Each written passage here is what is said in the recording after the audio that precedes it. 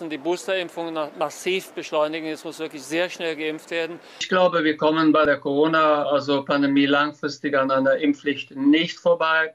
Karl, das tötet Leute. Ich sag mal, also äh, an, äh, äh, Oh, ich, oh, oh, oh, oh, das, das wusste ich nicht. Wie kannst du so etwas nicht wissen? Okay, mein Fehler. Ich bin doof. Was ist